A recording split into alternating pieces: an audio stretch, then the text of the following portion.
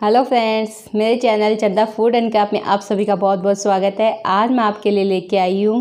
राजस्थान की फ़ेमस केर सांगरी की सब्ज़ी रेसिपी यह शादी व पार्टियों में भी बनाई जाती है और यह रेसिपी बहुत ही स्वादिष्ट बनकर तैयार होती है। आप इसे कहीं पे भी सफ़र में जाते समय पूड़ी या पराठे के साथ ले जा सकते हो, यह दो तीन दिन तक ख़राब नहीं होती है। तो आइए दोस्तों, इस रेसिपी को हम बनाना स्टार्ट करते हैं। इस रेसिपी को बनाने के लिए हमने एक कप सांगरी ले ली है। और ये हमने पाँच से छः साबुत अमचूर लिए, जिनके टुकड़े कर लिए हैं। ये बारीक वाले के लिए दो चम्मच, जिनको हम भिगो कर तैयार करेंगे। ये चार से पाँच साबुत लाल मिर्च है, जिनके टुकड़े कर लिए हैं, और आठ से दस काजू, इनके भी टुकड़े कर लिए हैं, और आठ से दस किशमिश।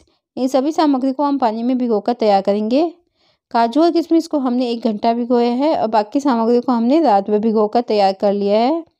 सांगरी हमारी बिल्कुल भिग कर तैयार है। लाल मिर्च, कैद और अमचूर, इनको भी हमने पानी में भिगोकर तैयार कर लिया है। अब सभी सामग्री को हम बॉईल कर कर तैयार करेंगे। सांगरी को हम कुकर में डाल लेते हैं और इसमें दो ग्लास पानी डालकर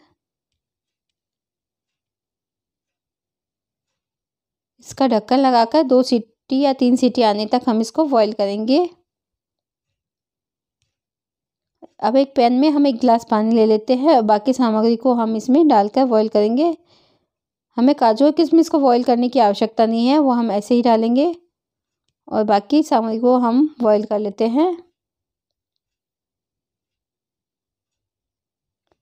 इस तरीके से हमने इनको अच्छे से उबाल आने तक बॉईल कर लिया है। ये हमने गैस को बंद कर दिया है और कैद और हमारे अमचूर बिल्कुल अच्छे से बॉईल हो गए इससे ज़्यादा हमें बॉईल नहीं करना है। अब हम इनका पानी निकाल लेते हैं और सागरी को चेक कर लेते हैं।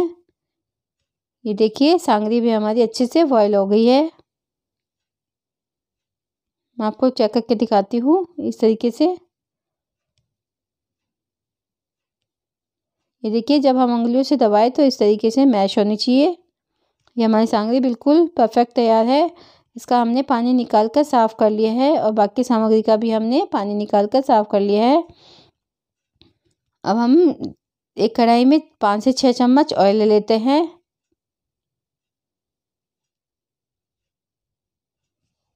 ऑयल हमारा गर्म हो गया है। अब हम इसमें एक चम्मच जीरा डाल देंगे। आधा चम्मच हींग।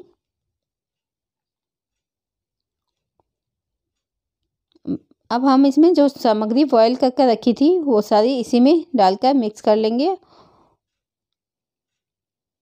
इसको हम अच्छे से मिक्स कर लेते हैं।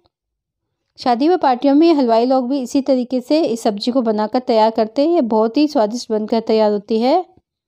आप एक बार इसको ज़रूर ट्राई कीजिए। अब हम इसमें मसाले डालेंगे। आधा चम्मच हल्दी, एक चम्मच लाल मिर्च पाउडर। सांगे की सब्ज़ी में हमें ज़्यादा मसाले की आवश्यकता होती है। एक चम्मच धनिया पाउडर। नमक स्वाद अनुसार। मसाले अच्छे से होंगे तभी सब्ज़ी में टेस्ट आएगा। इन सभी को हम अच्छे से मिक्स कर लेंगे और इसमें बहुत ही अच्छी खुशबू भी आ रही है।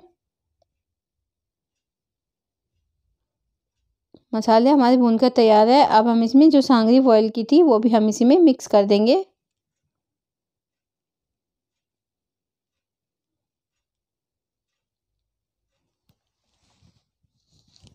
अब हम इसको अच्छे से लगातार चलाते हुए, पाँच से दस मिनट के लिए लगातार चलाते हुए इसे पकाएँगे मिक्स करते हुए, ताकि इसमें सारा मसाला अच्छे से मिक्स हो जाए और उसमें बहुत ही अच्छा टेस्ट आए।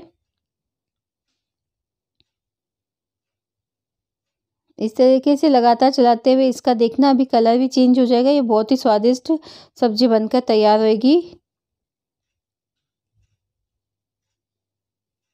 अब हमने जो ड्राई फ्रूट्स भिगो के तैयार किए थे, वो भी हम इसी में मिक्स कर देंगे। ये बिल्कुल ऑप्शनल है, आप चाहे तो डालें, नहीं तो स्किप भी कर सकते हैं। इन सबको भी हम अच्छे से मिक्स कर लेंगे।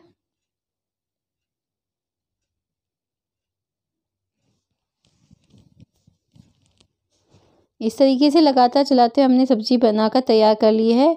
अब हम इसमें आधा चम्मच अमचूर पाउडर डालेंगे। हम इसमें पहले भी साबुत अमचूर डाल चुके हैं, इसलिए हमें आधा चम्मच ही की आवश्यकता है और आधा चम्मच ही हम इसमें मिक्स करेंगे। आप देख सकते हो कितनी अच्छी सब्ज़ी बनकर तैयार हुई है। दोस्तों, अगर आपको मेरी रेसिपीज़ पसंद आई है तो आप अपने कमेंट्स बॉक्स में ज़रूर लिख के बताइए कि आपको मेरी रेसिपी कैसी लगी। इस वीडियो को लाइक कीजिए शेयर कीजिए अगर आप मेरे चैनल पर नए हो तो इसे सब्सक्राइब कीजिए और बेल आइकन बटन को दबाइए ताकि आने वाले सभी वीडियो की नोटिफिकेशन आपको मिलती रहे।